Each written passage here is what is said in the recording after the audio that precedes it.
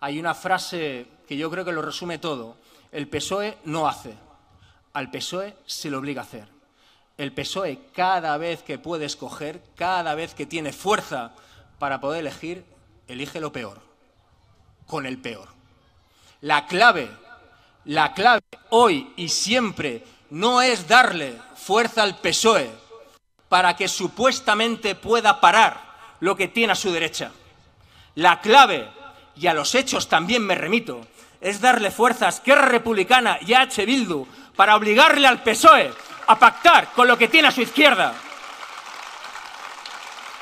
Yo me siento profundamente orgulloso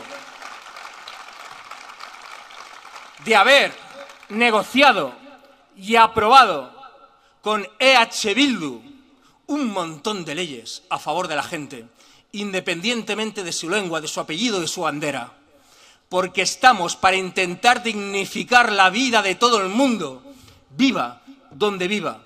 Yo me siento profundamente orgulloso de haber negociado y de haber conseguido una ley de infancia a favor de aquellos que más merecen ser protegidos.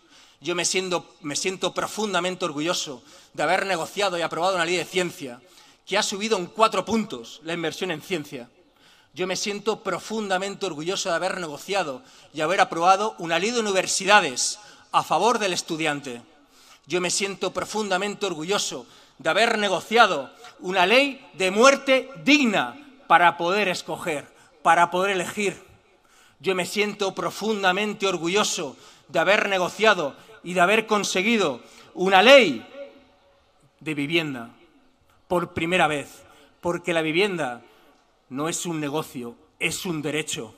Yo me siento profundamente orgulloso de haber negociado y de haber conseguido una ley de consentimiento terriblemente necesaria, quizá terriblemente imperfecta, pero terriblemente necesaria porque solamente sí es sí.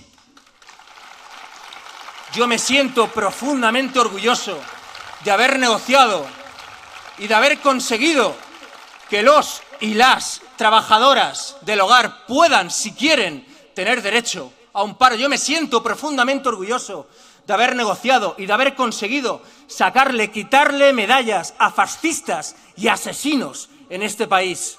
Yo me siento profundamente orgulloso de haber negociado y de haber conseguido, sí, lo digo claramente, que nueve personas duerman en su casa y no en una celda.